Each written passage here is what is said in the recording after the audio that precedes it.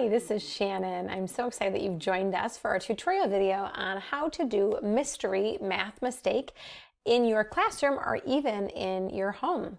Mystery Math Mistake is going to be featured on our YouTube channel, which is at SIS, the number four teachers as the handle. You can go in there and click on any of our Mystery Math Mistake videos. We do a variety of them from addition, subtraction, sometimes there's things in tasks that might go wrong.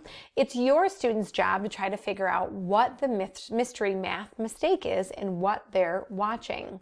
I'll be doing the tutorial video, kind of describing maybe how to do a subtraction strategy, maybe using one of our friends over here from our Math Mights, and you might see that I might make a mistake. It's your student's job to pick out the mistake that I'm doing. They could replay the video over and over again. You could do this in a Math with Someone station, a Math with Myself station, where kids are reflecting on error patterns they might see in math. You might even encourage for your students to be able to create their own mystery math mistakes, where they can kind of make them a little bit more hidden or a little bit more mystery to see if other students can see and kind of express maybe where they might critique the reasoning of others in the classroom. We have a great recording sheet that you can download for free.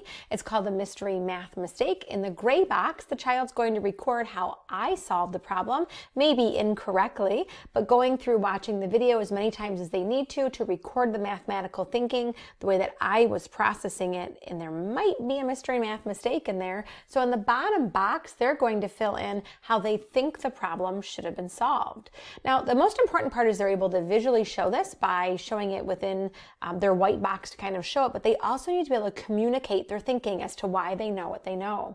And so on the back of the paper, for younger students, it could be dictated, but for kids in grade second through fifth, they could write about the mystery math mistake. And so they need to explain where my number sense went wrong and maybe give me a suggestion to help me to be able to solve that problem correctly.